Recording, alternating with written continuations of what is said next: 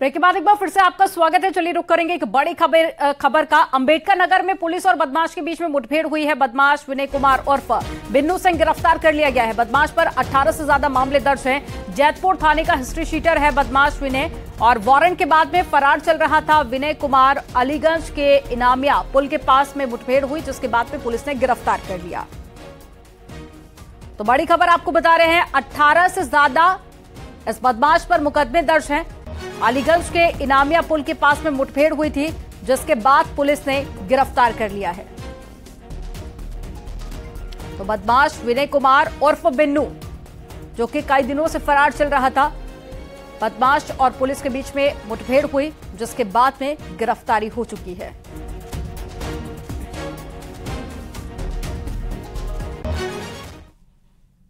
और इटावा से एक बड़ी खबर मिल रही है, जहाँ पर घूस मांगने पर मामला दर्ज किया गया है। सात अदालत कर्मियों के खिलाफ में मामला दर्ज हुआ है।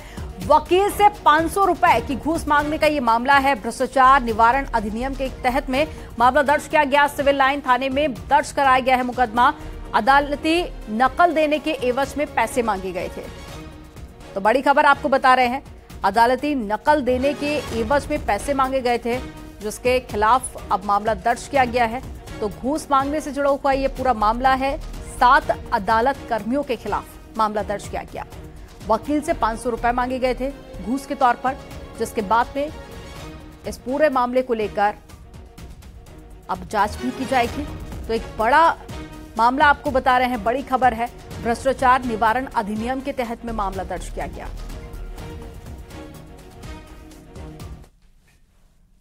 नोएडा के बहुचर्चित निठारी कांड पर इलाहाबाद हाईकोर्ट आज अपना फैसला सुनाएगी। सुरेंद्र कोहली और मनिंदर सिंह पंढेर की फांसी की सजा के खिलाफ में अपीलों पर हाईकोर्ट अपना फैसला सुनाएगी। सीबीआई कोर्ट गाजियाबाद ने दोषी करार देते हुए फांसी की सजा सुनाई थी इससे पहले। हाईकोर्ट ने लंबी चली बहस के बाद में अपीलों पर 15 सितंबर को फैसला सुरक्षित रख लिया था। कोहली पर कई लड़कियों की नृशंस हत्या और बलात्कार करने के आरोप में फांसी की सजा के खिलाफ अपील दाखिल की गई थी। पंडेर को भी तीन मामलों में फांसी की सजा मिली है। नोएडा की पंडेर की कोठी में निठारी गाँव की लड़कियों को लाकर हत्या की गई थी और इस पूरे मामले को लेकर गाजियाबाद की कोर्ट पहले ही सजा सुना चुकी है और जिसको चुनौती दी गई थी हाई कोर्ट में। हालाँकि कोर्ट ने अपना फैसला सुरक्षित रख लिया था और आज अपना फैसला सुनाएगी कोर्ट।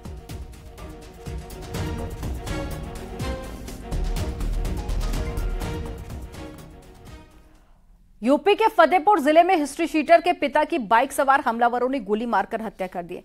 पुरानी अदालत में इस वारदात के बाद से इलाके में हड़कंप मच गया। घटना के बाद में SP Uday Shankar Singh forensic team के साथ में मौके पर पहुँचे और घटनास्थल की जाँच पड़ताल के साथ ही एसपी ने बताया कि पुरानी रंजिश के चलते परिवार के ही दो युवकों पर हत्या करने का आरोप है। इस पूरे मामले में केस दर्ज कर आरोपियों की गिरफ्तारी के लिए पुलिस ने तीन टीमें लगाई हैं। जिनकी उम्र लगभग चौंसठ पैंसठ वर्ष है। साइकिल से कहीं से आ रहे थे और दो लोगों के द्वारा इनकी हत्या करना बताया जा रहा है।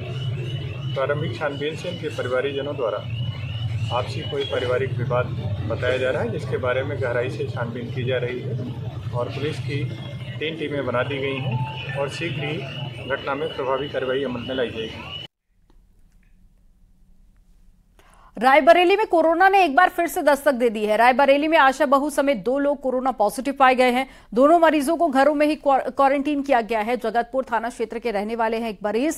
तो वहीं एंटीजन जाँच में दोनों की रिपोर्ट नेगेटिव आई थी, जिसके बाद में जब आईटीपीसीआर जाँच की गई तो उनमें दोनों कोरोना पॉजिटिव पाए गए, जिसके बाद में घरों में ही क्वारंटीन किया गया है।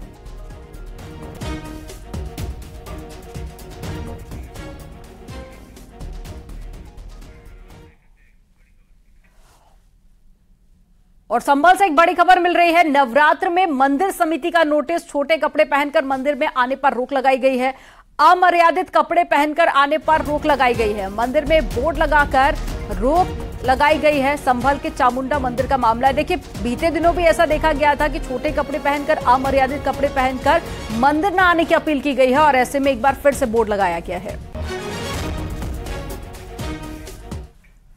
यहाँ पर रुकेंगे एक छोटे से ब्रेक के लिए। आप देखते रहिए न्यूज़ 18 आप देख रहे हैं न्यूज़ 18 उत्तर प्रदेश, उत्तराखंड।